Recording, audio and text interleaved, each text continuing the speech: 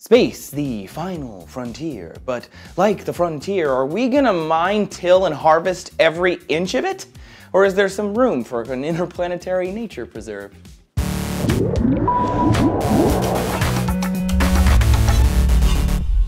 Hey peeps, Trace here. Thanks for checking out D News today. Here on Earth, we have laws that can protect areas of land like Yellowstone, the Peak District, or the Serengeti. And according to the International Union of Conservation of Nature, there are almost 7,000 national parks across the world, and some of those are recognized under UNESCO as World Heritage Sites. But what happens when you go into space?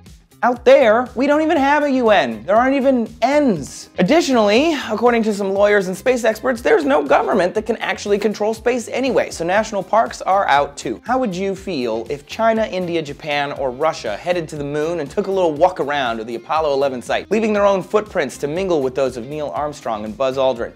How's that make you feel? To keep everyone on an even keel, there are a bunch of treaties that govern space and the things in it. The Outer Space Treaty of 1967 says that no country can hold sovereignty over any celestial body. The Moon Treaty of 1979 reiterates that and adds that countries cannot militarize space either or send satellites that would do so. That complicates the job of an archaeologist though, because UNESCO can't declare the Apollo site a protected place without declaring it for a country. It's all a big political traffic jam, but in space. A space jam of political traffic. Antarctica is considered a scientific continent. It's governed by laws that keep any country from owning it, as are sections of the ocean floor. Archaeologists with the University of New Mexico in Las Cruces used that precedent for the preservation of historic sites in space too. Their reasoning is the moon holds family photos, pilot wings, cameras, golf balls, and even bags of fecal material, all of which could be of interest to future generations. Yes, even the fecal material. It doesn't stop with the moon. Archaeologists are also concerned with space junk. I did a video on it a while back about this growing problem, look it up. There are satellites and probes orbiting ours and other planets. Little bits of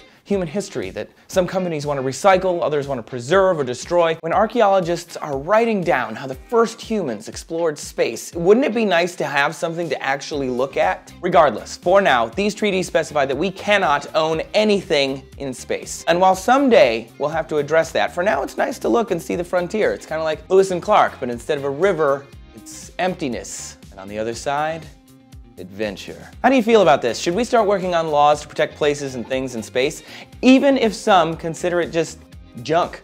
Do you have an idea of how we could do it? Tell us about it in the comments. And thanks for watching D News, everyone. We are here twice a day, every day. Come chat with us on Twitter, Facebook, or even Google+. We're definitely around. Thanks a lot, everyone. I'm Trace. See you later.